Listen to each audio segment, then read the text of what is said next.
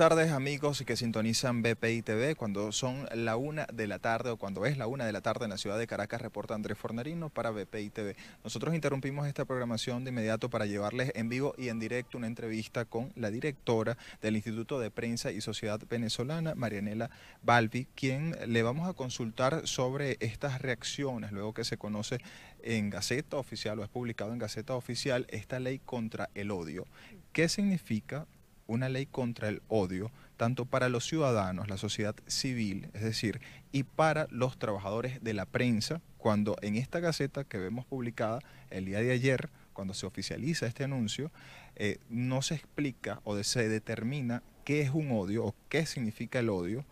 o cuáles son estas formas en que se está contemplado el odio contra aquellas personas y cuáles son los delitos que propiamente se les pueden aludir a esos ciudadanos. Doctora Marilena, quería que nos pudiera explicar ese punto eh, para todos aquellos que ven BPI TV. Bueno, muchísimas gracias y muchos saludos a la audiencia de BPI TV. Eh, efectivamente, después de la ley resorte, eh, nosotros podemos calificar esta ley contra el discurso de odio como una de las leyes más punitivas y más restrictivas al tema de libertad de expresión y a los derechos civiles de los, de los venezolanos. En función, digamos, de proteger un, discurso contra el odio y favorecer la paz, que es lo que dicen ellos como sus motivaciones, eh, se está amenazando seriamente la libertad de expresión y la libertad de opinión a través de canales digitales, a través de plataformas digitales, a través de los medios de comunicación, y eh, incluso a través de organizaciones políticas, por ejemplo. ¿no? En esta ley eh, se establecen eh, delitos de, que, podríamos calificar desproporcionados, como 20 años de cárcel, eliminatoria, digamos, de habilitaciones administrativas, revocatoria de concesiones, cierre y bloqueo de páginas web y de espacios digitales, y es lo que en definitiva es un marco restrictivo, un marco legal muy, muy restrictivo para la opinión y para la expresión de los venezolanos. Que la verdad es que la, la, la, sociedad venezolana había, había encontrado en las redes sociales unas ventanas de expresión y unas ventanas de, opinión pues de, de, lo que está ocurriendo en Venezuela frente al cierre de medios, frente a, a, la desaparición de espacios informativos como estamos viendo en general en estos últimos años. Esta ley además tiene un elemento que es muy, muy peligroso. O sea, eh, eh, no solamente su carácter punitivo, sino la discrecionalidad que hay alrededor de lo que, como bien decías, eh, ¿quién define qué es odio o qué no es odio? Eh, tenemos 18 años en una sociedad marcada por un discurso de odio, pero ese discurso de odio, a, eh, los voceros principales han sido los altos funcionarios del gobierno, desde el presidente Chávez para abajo. Eh, es una sociedad que ha estado crispada durante estos 18 años, que ha vivido muchísimos episodios de discriminación, de exclusión, de, partir en dos una sociedad, de calificar al enemigo, de, incluso... Eh, ponerle etiquetas justamente que, discriminan y que, y que excluyen y que son motivos de, digamos, de discurso de odio. Entonces, si son ellos ahora los que tienen que juzgar qué es el odio para de los otros, o sea, de la expresión de odio de los otros, lo que estamos viendo en el fondo es una ley que eh, quiere acallar la disidencia, que quiere acallar las voces distintas, diferentes, y que se están amparando en un discurso como este, eh, de odio para lograr ese objetivo. Entonces nosotros tenemos que alertar sobre esa situación porque no es a través de una ley eh, que se va a controlar ese, ese discurso de odio. Ya el discurso de odio está eh, plenamente estipulado en normativas, en estándares, en, digamos, en leyes incluso supranacionales está calificado, clasificado, está relacionado directamente con hechos de violencia y este, no hace falta una ley eh, local, nacional, para eh, restringir este tipo de manifestaciones que estamos todos de acuerdo en que conducen a, eh, sin duda, hechos que pueden ser calificados de delitos de lesa humanidad y violación a los derechos humanos. Nadie está eh, eh, en contra de que eso, y eso ya está en unas normas internacionales, ya está en los estándares, ya está en los pactos que Venezuela ha firmado. Entonces no hace falta una ley más. Esta ley, obviamente, lo que tiene por dentro es, es una, un control incluso de partidos políticos, de asociaciones, de organizaciones, que violentan incluso los derechos a la libre asociación, a la protesta pacífica y a la libertad de expresión sin duda.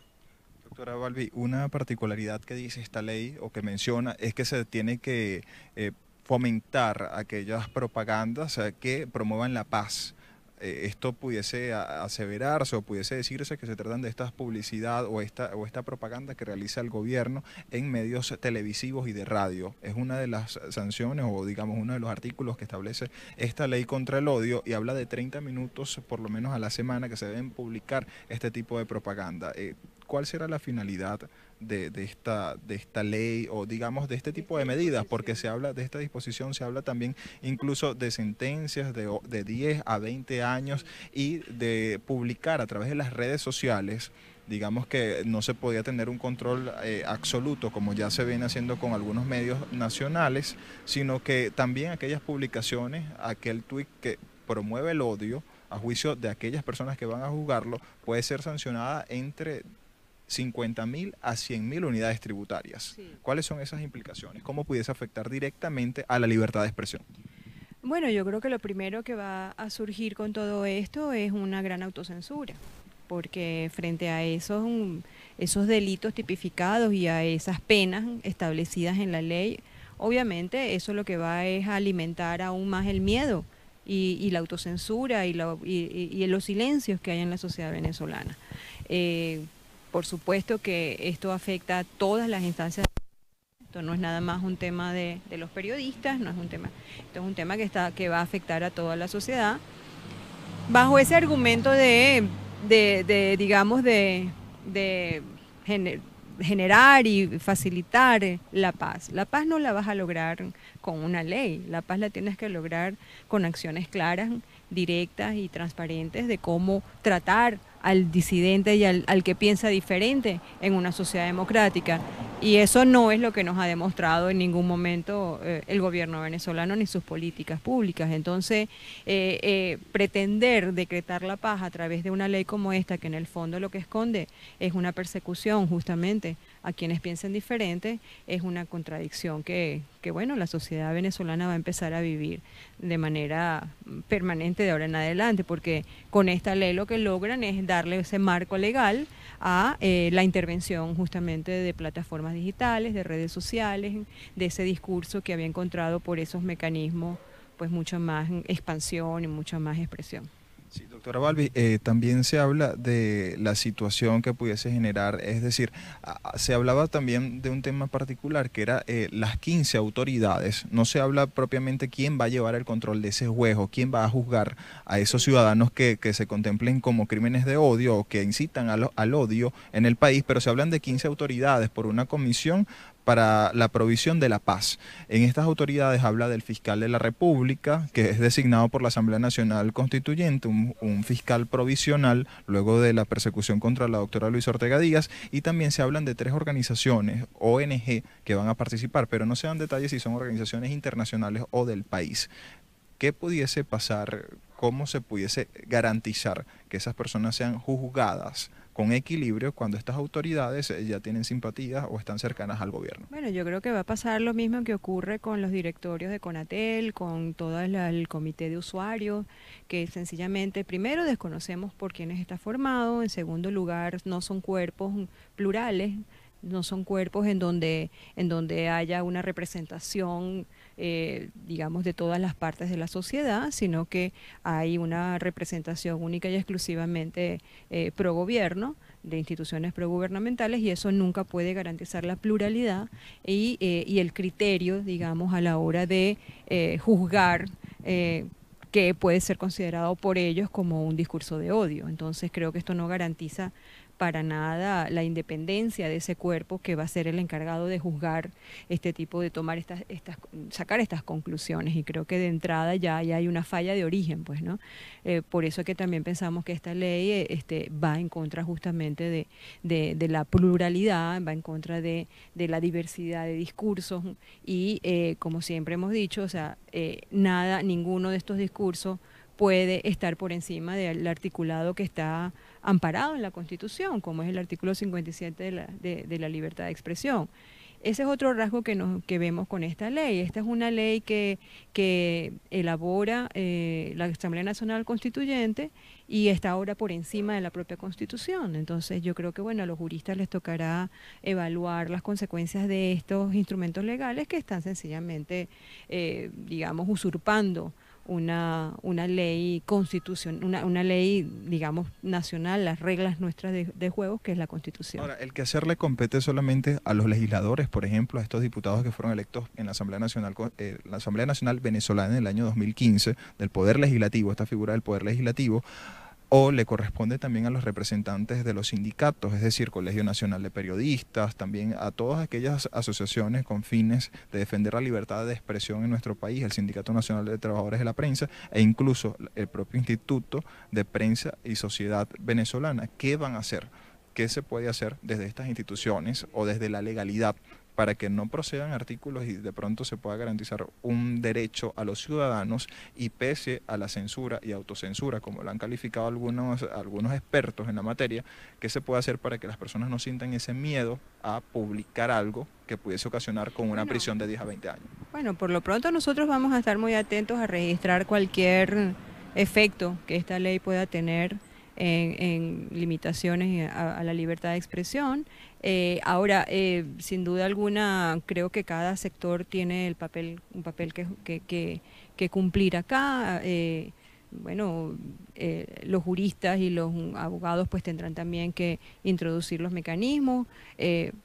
Que, que, puedan revertir este tipo de normativas, pero y bueno, y obviamente llevaremos esto, esta denuncia a instancias internacionales, porque bueno, es realmente muy grave pues lo que está contenido en esa, esa ley contra el discurso del odio. ¿Qué protección tienen ahora tanto periodistas, ya refiriéndome al punto de vista ya personal o particular, ¿verdad? Aquellos periodistas que hacemos algunas eh, críticas, digamos, a algunas decisiones que se toman al gobierno o quizás aquellas figuras ya, digamos, públicas desde los canales de televisión, porque vemos que algunas de las sanciones implica directamente a la persona, no se define,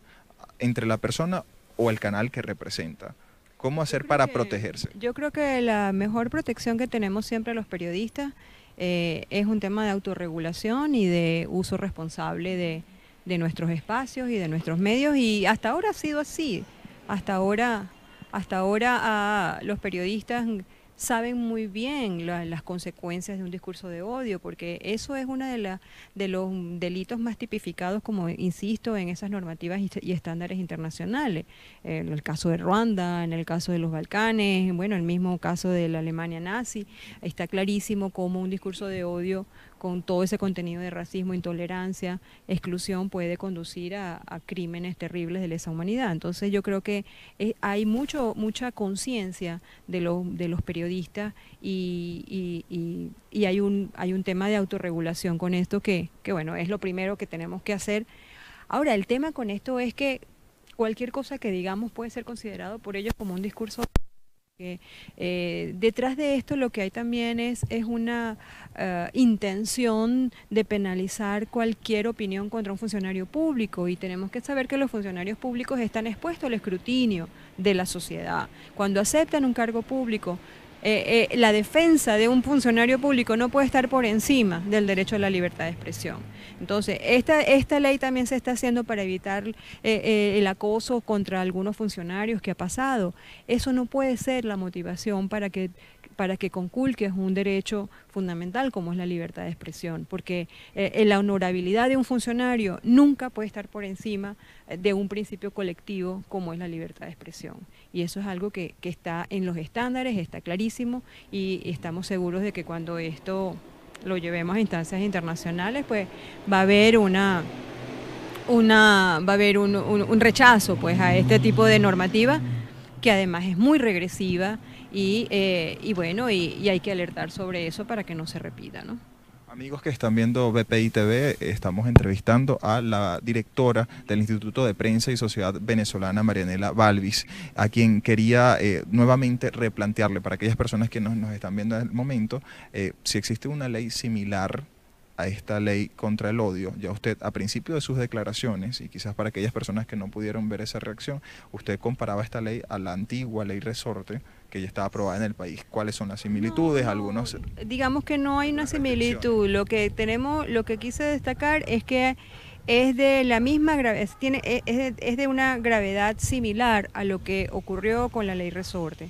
eh, la aprobación de la ley resorte. Em, recientemente ha habido algunos intentos de, aprobar leyes similares en Brasil, por ejemplo, y el, propio presidente la, eliminó. Paraguay también tuvo un intento de una ley similar, pero al contrario, más bien a nivel internacional lo que hay es una eliminación de los delitos de opinión de los códigos penales, porque se entiende que son de los delitos de opinión no pueden nunca estar eh, bajo, bajo, digamos, el paraguas del código penal, sino que son, bueno, delitos que tienen que ser tratados en tribunales civiles y además no pueden tampoco eh, digamos, eh, tener penas desproporcionadas como lo que tiene esta ley. Entonces yo creo que eh, mm, tenemos que, estar muy pendientes pues, de que pueda repetirse un, un, modelo similar a este en otro país, pero creo que estamos inaugurándolo. ¿Pudiese terminar esto en unas consecuencias como periodistas detenidos con sentencias de 10 a 20 años de prisión o quizás otros canales de televisión cerrados como la antigua RCTV? Es que no solamente es un tema de los periodistas, ahí está clarísimamente expresado el tema de las organizaciones políticas, el tema de, de organismos, de, de, otro tipo de instituciones, de medios también, de plataformas digitales. Entonces, eh, así como pueden ilegalizar un partido político, pueden inhabilitar a un, a un, a un dirigente político y pueden también, por supuesto, que este, castigar a un periodista. O sea, yo creo que la amplitud de, de lo punitivo de esta ley es uno de los elementos más alarmantes. Entonces, como les decía, o sea,